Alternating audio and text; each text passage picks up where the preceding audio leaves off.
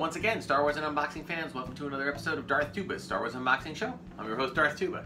So today, as you can see, we have a thematic opening um, with uh, cars, Star Wars crossover themed uh, vehicles, which we're going to do in just a moment. But before we do, I do want to announce the winner of our giveaway um, that uh, was out two episodes ago, and uh, actually three episodes, I think, technically.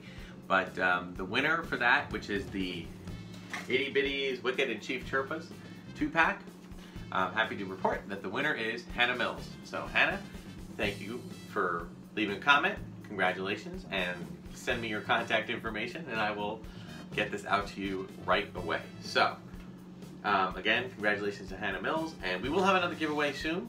Um, at this point, um, I'm, I'm, actually digging into some old uh, collectible items that I've, you know, acquired over the years to do some unboxing. So right now, I wanted to gather up the Cars collection for the most part. There's a couple that I've kept in the box, uh, mostly because uh, they're a little bit more rare, and um, perhaps we'll uh, go through some of those in a later episode. But this set, uh, just to let you know, uh, this crossover was only available in Disney parks, okay? It was a series that came out in, I'm gonna say, some of these are listed as 2013, some are listed as 2014, so I'm gonna say like the 2012 to 2015 range, okay? And I gotta say, if there is a, you know, there are certain um, fr toy franchises. I mean, you know, movie franchises that are also toys, or toy franchises that were toys first and then became movies or TV. There are certain franchises that really transcend time. Some of them, like before Star Wars, it was G.I. Joe and Barbie. Um, and then later on, um, Star Wars came into play, and you saw Star Wars, it was uh, Transformers was another one. But I gotta say, if there is a um, another toy franchise tied directly from a movie that uh, comes pretty darn close to uh, really getting a strong collectability factor.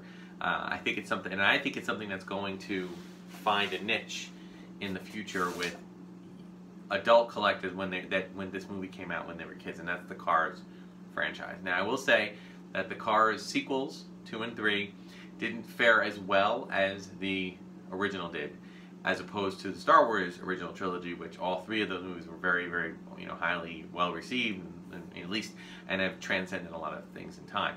Uh, but nonetheless, um, there was a long gap between the first Cars movie and the second Cars movie, and there was a huge amount of stock. Every character that you saw in there, and every variation you can imagine. And the thing about it is that essentially it was just like getting involved with like a Matchbox car or Hot Wheels, except it was cars. And um, there was just such a neat displayability factor, playability factor. There were play sets and things that you could use for young people. Old people could put them into, adults could put them into display cases. It was just a great um, setup. So to combine the two and have Star Wars and Cars, um, I think was a fantastic idea. I don't believe it is continued. I think that it is mostly run its course. It seems to me like that the Lucasfilm and Disney branding of Star Wars now has kind of focused most of its attention on all the new movies and properties that come out, uh, and they want to protect the the reputation of the brand. So we don't see as many Disney or Disney or Muppet characters uh, dressed up. I do plan on doing a future episode where we do some unboxing of some of those characters as well because they were um, they were fantastic. You know, they were great when they came out. I'm glad that they came out.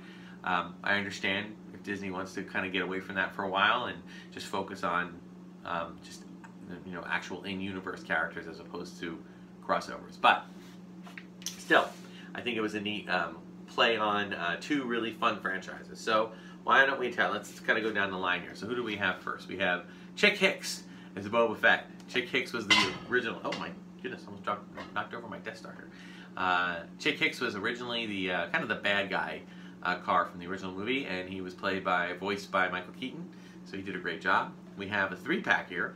C3PO and uh, Luigi as C3PO and the Pitties as Jawa, meaning some of the pit, um, not not his, not uh, Guido, but some of the other um, pit members that are actual Jawas, which I think is clever.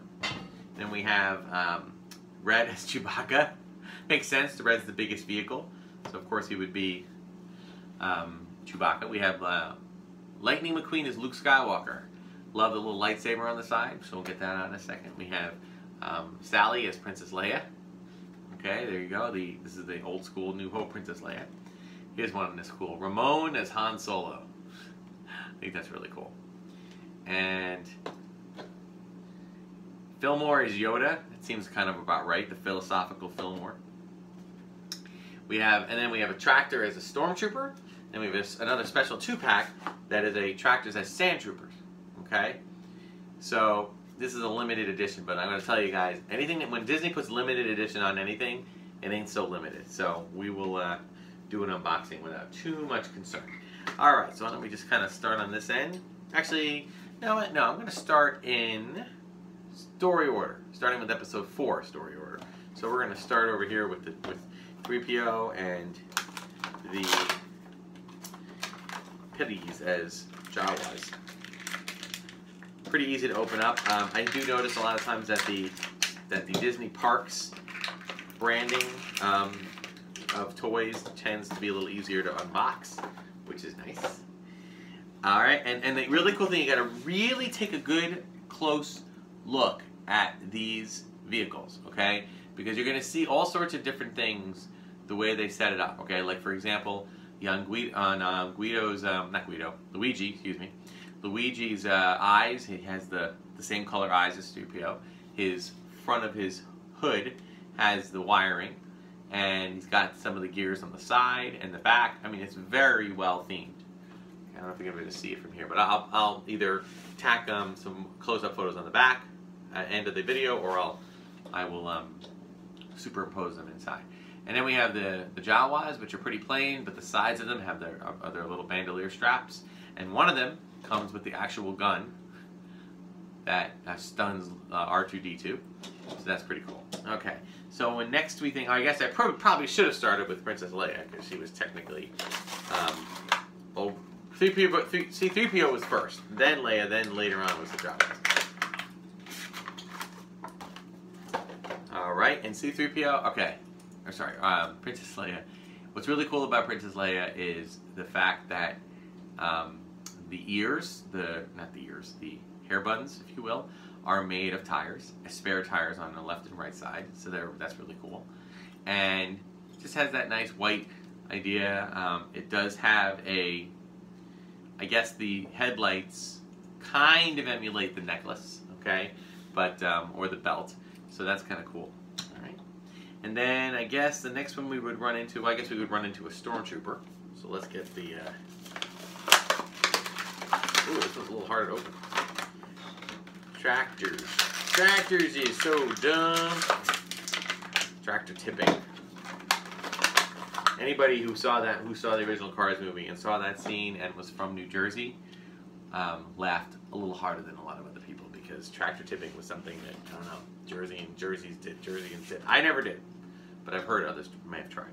Okay, and it even, so you can even have them tip over if you want to try tack tractor tipping. Pretty cool. But if you look at them closely, funny thing is, you, this thing spins a lot. So you got you got your own fidget spinner if you want. okay, um, his main exhaust vent here is is the weapon is the is the uh, blaster all right, and he's got his, you know, all the other details, including the bent, slightly bent uh, canister in the back is there. So pretty cool. All right. C-3PO goes in, meets with the Jawas. Uh, I guess we don't see the Sand Troopers until we see Luke, even though this is Luke dressed as X-Wing pilot Luke. We'll go by character.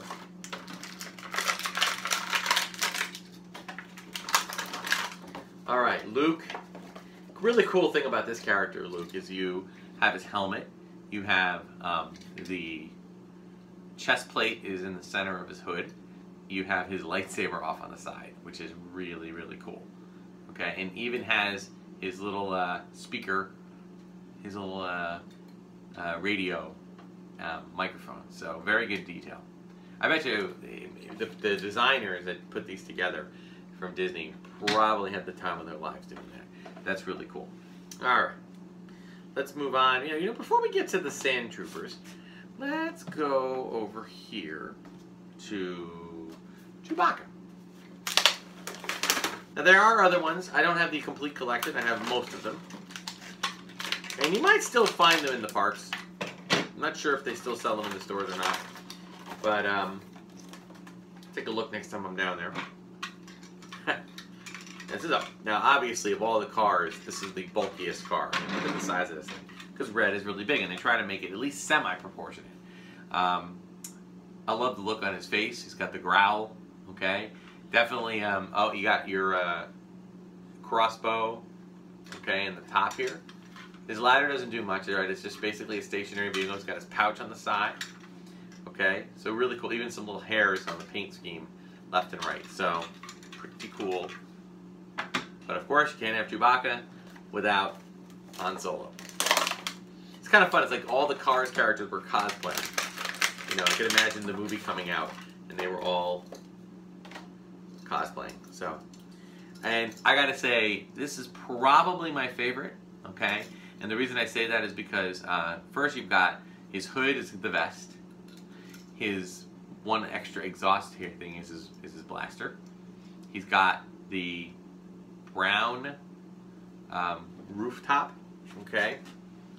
And he's got, which I guess is his hair.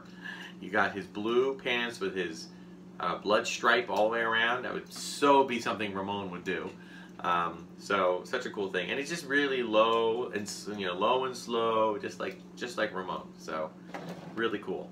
So I gotta put him over here by um, by Chewbacca. All right, and then we have our two pack of Sand Troopers, which of course are, you know, the you know, I, I, do to, to to young collectors out there. If you're thinking about collecting, a couple of things you should be being aware of. One of them is that you're going to be try. People are going to try to sell you a lot of things, and one of the things they're going to try to sell you is exclusives. Okay, the thing about exclusives is that, you know, exclusives are. It depends on what you want. Now, I will say this: more more cool than even the box, than you know, than this is. It does come with a display. So for this group, for this one, I'm probably going to end up just keeping the display. All right, I, and the reason for it is because, I mean, I don't want. It's got a nice little backdrop. All right, you can see it's got in the back. It's got uh, looks like. Well, here's a really cool thing. Remember the if those of you who know Star Wars, I'm sure most people watching this show do. The part where 3PO is walking in the background and he comes across the skeleton of the krayt dragon. Well, it looks like they have a skeleton of a krayt dragon, but it is altered to look more like a crashed vehicle because it's cars. So that's really cool. So you can take it out of here if you want. Um, I've decided that um, this display like this is enough. I can put one on top of it. I can put two on top of it. So wherever I end, put, end up putting this, um, I'm going to leave it in its display. Right? I think the display is fine. Has a little description on the back. You know, acrylic displays I don't like to mess with. They're they're they're really nice, and if I do open it up, I either have to throw out the acrylic display or or store it someplace. And I got to tell you guys, I'm not a collector that likes to store things. Okay, and I'll just you know get go off on a tangent here for a minute. I appreciate collectors who collect things and then keep them in a box and never take them out and never enjoy them. They just collect them to say that they have them. I don't understand it. I respect it, but I don't understand it. I said, you know, these are things that you're spending hard-earned money on. This is what you're spending your, you know, you could be spending on other things that you can physically see and touch, okay? But, you know, I respect people's desire to keep things pristine in the box. I don't mind, and that's one thing to put something on display. You put something in a box in a mint package and display it, okay. That's almost the same as what I do.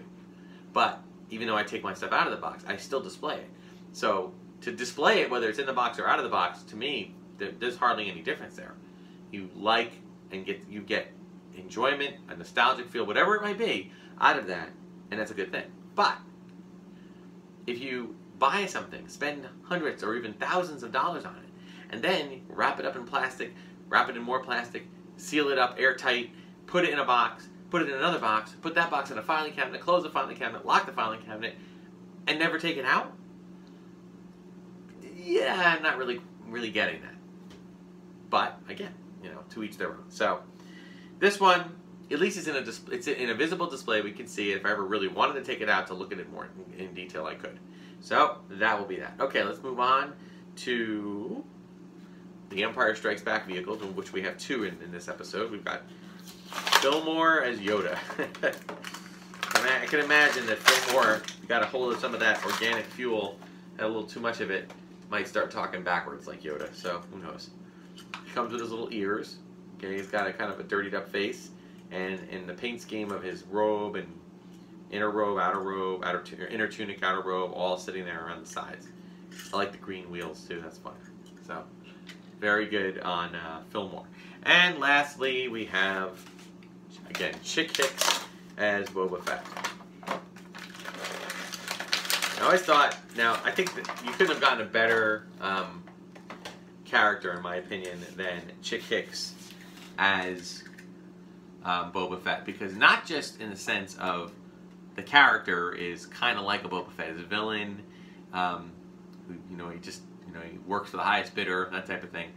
It seems like all Chick Hick wants to do is get those sponsorships and win, be the winner and get those, and he doesn't care who he runs over for it. So they have similar personalities in that regard. But if you look at the car of Chick Hicks, Chick is very um, boxy. You know, he's a very boxy car. He's not well rounded. He's not like he's like the total opposite of uh, of um, both the Porsche uh, Sally and Lightning McQueen, who are definitely more rounded, more softer. But Chick Hicks is definitely more boxed in and more angular. And that's how kind of Boba Fett's armor was. Everything was very angular. And that's what made him kind of cool. So they kind of, you know, put the paint scheme in. Again, they gave the, the, the blaster as part of the exhaust. They put his backpack on the back. Okay, so pretty cool. And he even has some. He even has that little Boba, Boba Fett skull symbol on the side. So good with the detail. So you know, just some of the cars, um, Disney crossovers. There, there have been others. I mean, obviously they, they had the Disney characters also crossover into Star Wars characters. They did that for many years. Um, they also had the Muppets, and they did a few with the Muppets. I have a couple even back here you might be able to see. And they've had um, the uh, well, other Star Wars Disney. There's a, been a lot of Star Wars Disney. I could probably do multiple shows on the Star Wars Disney crossovers. And this is all prior to Disney purchasing purchasing Star Wars. This is all stuff that happened before that. So, all right. So I think that will do it. I do want to say one quick thing, and that is a little update. I'm going to probably give um, week to week or episode to episode updates on the uh, HasLab Jabba sail barge um, crowdfunding project, and it looks like as of I think this morning there were about 1,934 um, purchases, all right, with about 32, 33 days left, and um, they're waiting to get to 5,000. At this rate, it's hard to tell if they're going to do that. I don't know if there'll be any surges or if it's just going to kind of trickle up and they're going to see where, where it gets to once they get to something either 5,000 or close to 5,000. I've never been part of something like this before, so I couldn't even tell you um, what to expect from it. But I can tell you that I will give you updates, and once I know something is going to happen, I will share that. And I do know that if they do decide to do it, we are also getting a pamphlet, like a like a 30, 40 page booklet, all about the creation of it. I'll show that in an episode so you can see what that is, and we'll go from there. All right, so that'll do it for this episode of uh, Darth Tuba Star Wars Unboxing Show. Like, subscribe, share, hit the notification button, spread the word. I'd like to get some more subscribers. I mean, even if people don't want to watch all the episodes or just want to watch certain episodes, I get that. But spread the word. Let, let other people, let friends, other kids, other people who other you know young kids, young and old, who might enjoy this kind of show, just so they know that it's out there. It's simple, it's easy, it's nothing too crazy, um, but just but it's honest. That's what I'm to say. So I hope you guys enjoy it and let me know if you have any more comments. I will get some more giveaways going, and it, until then, you can check out the Darth Tuba Star Wars unboxing page on Facebook. You can go to at Darth Tuba for Twitter and Instagram. Email me darthtuba77 at gmail.com if you have any questions, or leave comments on any episodes for questions. So thank you so much. Until next time, may the Force be with you.